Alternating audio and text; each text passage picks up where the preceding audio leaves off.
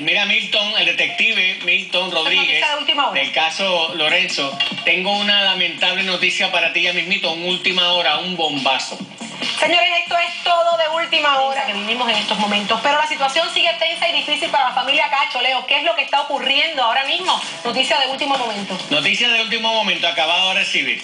Aquí tiene la primera hoja de una demanda que está radicando Ana Cacho y su señora madre contra el detective privado Milton Rodríguez. Se veía venir. Cuando estuvieron en el tribunal, a raíz del libro, la juez le dijo, hay otro remedio que usted tiene ley.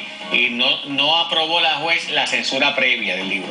Pero sí dejó la puerta abierta para una demanda por incumplimiento de contrato, daños y perjuicios. La demanda contra Milton, atención Milton, para, para que después no digas que Leo la tiene cogida contigo, papito. Está en el tribunal, acaban de radicar y tiene un monto de un millón de dólares en reclamación por daños. Aquí está, papito, mira. El KAC 10 raya 15 a 26, papito, aquí está, mira. Papo, las últimas eh, noticias que hemos estado escuchando de la familia Cacho se trata de demandas, haciendo unas peticiones de millones de dólares. Demandas al departamento de la familia, demandas a los socios socio qué, aquellos que están hablando con los niños, este, y ahora otra demanda a Milton, bueno, si ganan todas esas demandas terminan millonarios, pero el caso no se ha resuelto. El niño Lorenzo sigue, mire, calientito, que en paz descanse. Yo no entiendo, yo, yo puedo entender todos estos procesos, pero creo, como dije anteriormente, como que son un poquito a destiempo. Yo hubiera esperado un poquito que se... ¿Sabes qué pasa, Papo? Lo que pasa es que también en los tribunales hay un periodo para tú radicar las peticiones y las cosas, porque expira el periodo y no lo puede hacer.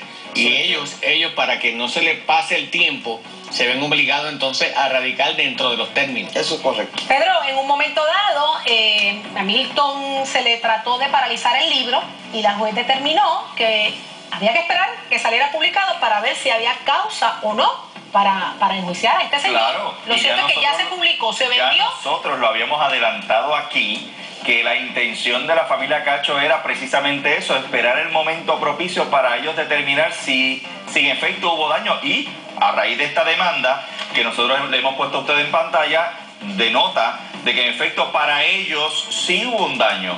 A lo mejor el daño es emocional, a lo mejor el daño es económico porque ellos tienen negocios, a lo mejor es un daño moral, sea, entre, también entre todas sus amistades, o sea, y ciertamente pues esas cosas se pagan que usted quiso que el pueblo de Puerto Rico supiera más sobre la familia Cacho. El problema de todo esto es que eran sus clientes y ya lo habíamos dicho. Y había una cláusula de confidencialidad en el contrato del detective. Eso es una, una, una realidad. Lo otro, que por supuesto esperaron que él vendiera el libro, que tuviera echado a pagarle.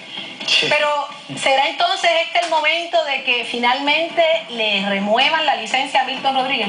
Bueno, eso está a raíz de unas semanas. Recuerden que en Milton había una vista administrativa en Caguas, en el cuartel de la policía de Caguas, en la comandancia, y Milton abandonó abruptamente esa vista donde él tenía un remedio en ley, porque él dice que eso estaba planchado. Y si estaba planchado, pues él lo abandonó para no validar ese proceso. A leer, eh, cuando él abandona eso, está dándole la razón entonces a Ana Cacho y la policía va a decidir quitarle la licencia, está por verse, pero me huele, me huele que el año nuevo Milton le llega sin licencia.